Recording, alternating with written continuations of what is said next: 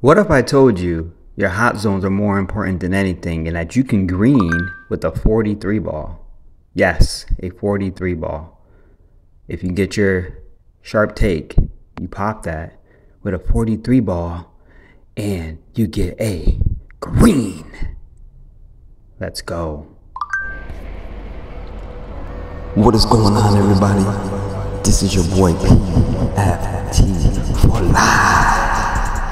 Like, subscribe. Hey, all right, so check this out. Now, this build is going to be a problem in the wrong hands. Technically in the right hands, but in the wrong hands, look at this. All right, now you do get a 43 ball off the rip. And again, the defense is free, man. You're going to take everything. But that 43 ball and still greening, that's dangerous. I did max it out at a 65 just because you get um, corner specialist on bronze. But everything else is Hall of Fame. Badges and hot zones matter, y'all. Look at that green window. Play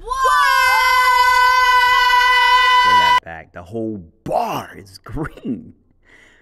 Anyways, we're going to check out the build's name. No one's going to contest this, I'm telling you. They'll leave you open. And as long as you're patient for that three, you will green.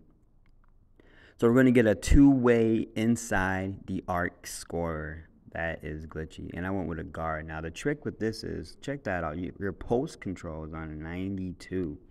So you can do whatever you want with this. But catch and shoot Hall of Fame, Green Machine, like all these things, man. I'm telling you. Claymore, if you just sit in the corner and wait patiently, I'm telling you, you will green. That's a true, true lockdown. Baba Yeah, all right, so that was the end of the freaking clip, man. Go out and make this build. I will grind him out. Until next time, like.